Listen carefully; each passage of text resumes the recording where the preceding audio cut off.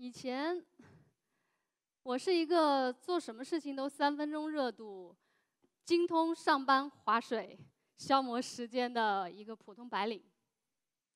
我唯一的特长可能就是很会聊天吧。直到八年前，我生了个女儿，突然就变了个人。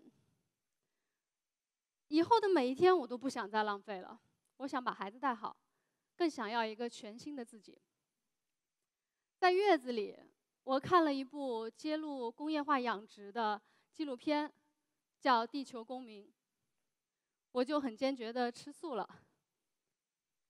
在最初带孩子，每天喂奶、挤奶，乳腺炎和腱鞘炎交替发作，我发现孩子挺好带的，但大人和老人特别难带。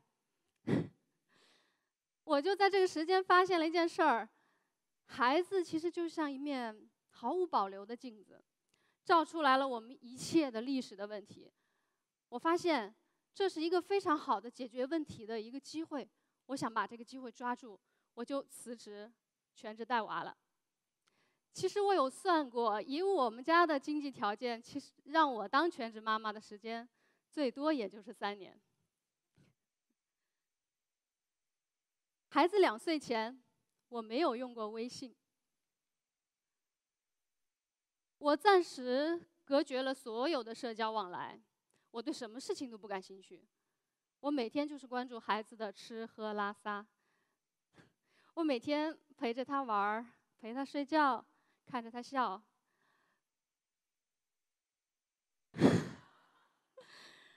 我真的就是观察着一个小生命从零开始生长的那个状态，我感觉我整个人内心起了变化。原先那个愤世嫉俗的人，好像心里变得柔软了。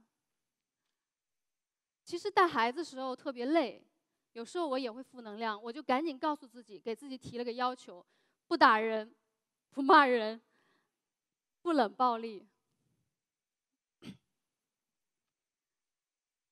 孩子一岁多以后，我们家就经常发生这样的场景。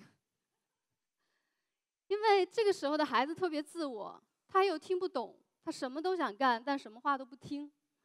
其实我也很气，既然定了这个要求呢，在我每次生气的时候，我就会冲着他的背后，哇，踢那个空气。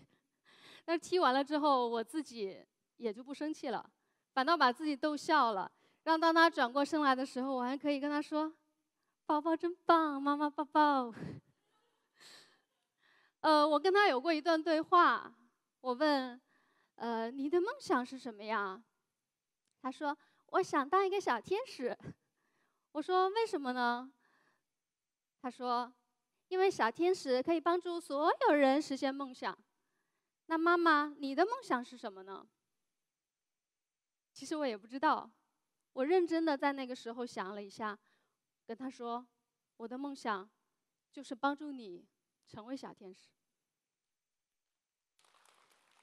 但是我那个时候没有想到，在未来我竟然也可以成为帮助很多人成为点亮别人的小天使。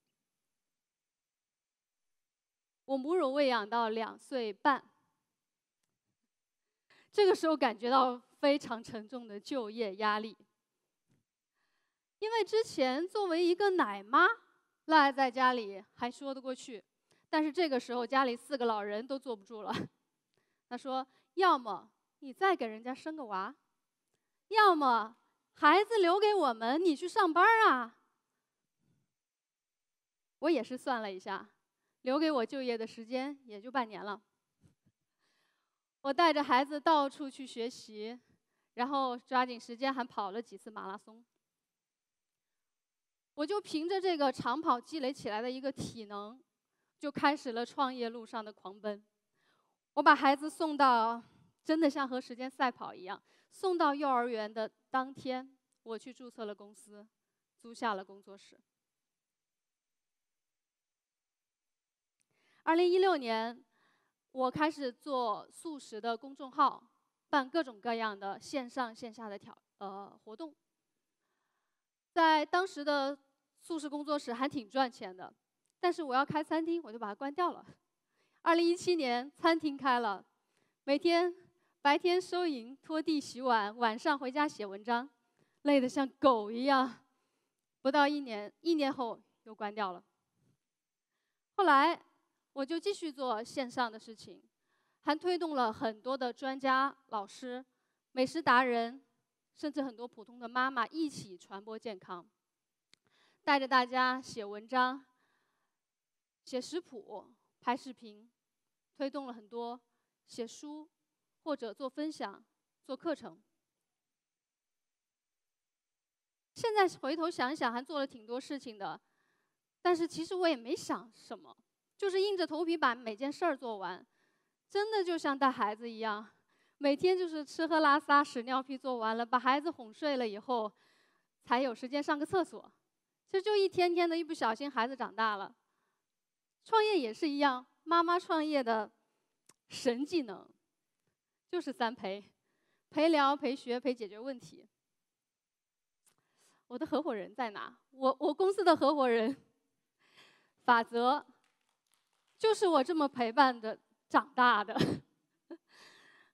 二零一五年，她是我的十几年的闺蜜。二零一五年，她在一次体检中查出了肿瘤。她辞职在家养身体。我一直在想，我要怎么帮她。刚好。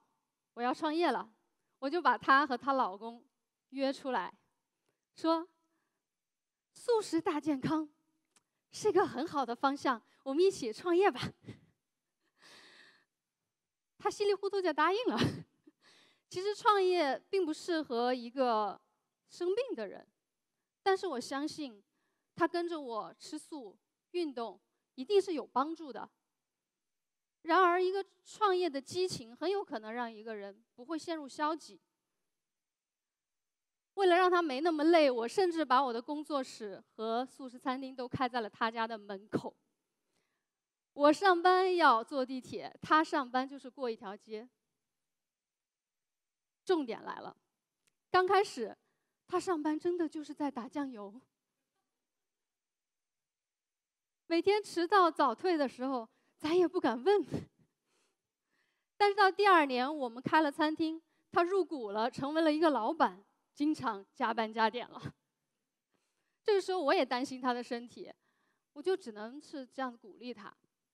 但是我们的共同的朋友经常去批评我，人家是一个病人啊，你在搞什么？所以真的就像当妈一样，你想让他长大，你不能去讲道理，你就这么哄着他。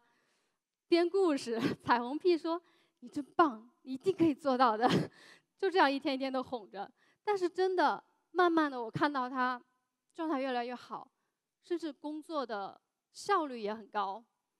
我们一起学饮食，学中医，他喜欢骑行，喜欢瑜伽，我喜欢跑步，我喜欢健身。呃，然后呢，他状态好了之后，他的变化。甚至都感染到了很多和他一样，曾经肠胃虚弱、曾经肿瘤、癌症的女性朋友。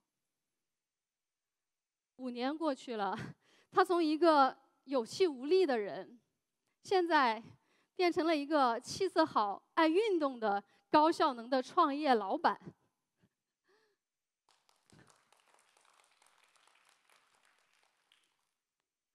而现在我们公司的。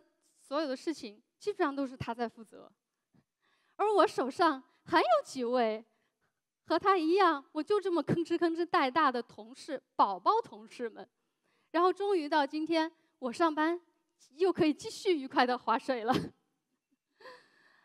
呃，也是在这五年里面，还有很多像法则一样，我们一起见证过他在人生的灰暗时刻又成长起来的女性朋友。我们在一起带领更多的妈妈，引导大家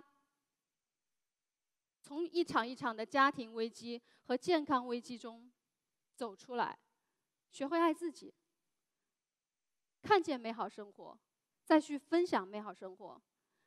其实一个人健康了，背后就是全家人都安详。一个人有爱了，他认识的所有的人都可以感受到他温暖的力量。而我带团队，呃，带用户，其实并没有用到任何我过去在 MBA 课堂上学到的管理知识。我用到的全部的技能，就是我在带孩子的时候学会的。我理解的所谓的管理和用户至上，不过就是带宝宝，发现每一个问题背后的情绪，摸准了那个情绪背后的需求，然后帮他建立起信心，一步一步带着走，陪他吃好喝好身体好，把关系理顺了，再把日子过好。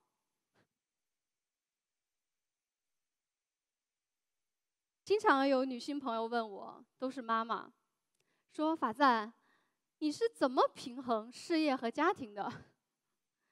我特别擅长回答这样的问题，因为我有很多的段子可以讲。比如，开餐厅一年的时候，我老公冲着我吼：“再不关门，老子跟你离婚。”比如，我好不容易带孩子去。玩一次，他眼泪汪汪的看着我说：“妈妈，我好想你，我好想每天跟你在一起。”啊这种时候都特别难受。我想我已经花了一百多万了，再这么下去家都要没了，那就关了呗。再比如，你掏心掏肺的做了很多事儿，其实有时候会听到一些很难听的话。回家一边洗澡一边哭，哭完了赶紧笑着滚出来，因为还有很多的事情要做，没有时间去郁闷。经常他们听完了我说这些段子，就说：“哇，那你过得比我还要惨呐！”那我就没有那么郁闷了。就是这样，我用了三年的时间专心陪孩子，用了五年的时间。陪着用户成长，我从一个全职妈妈到了创业女性，从一个人的挣扎，到现在妈妈帮助妈妈，事业在成长，我自己也在不停的成长，而这种互相陪伴和滋养的力量，我相信每一个用过心的妈妈都会懂。所以最后我想说，我们能带好一个孩子。能带好一个家庭，其实我们就有实力，能够引导、能够陪伴更多的人，其实就有能力影响更多的人。所以每一个妈妈手上都有孩子的未来，其实每一个妈妈也都有左手陪娃、右手创业的实力。谢谢大家。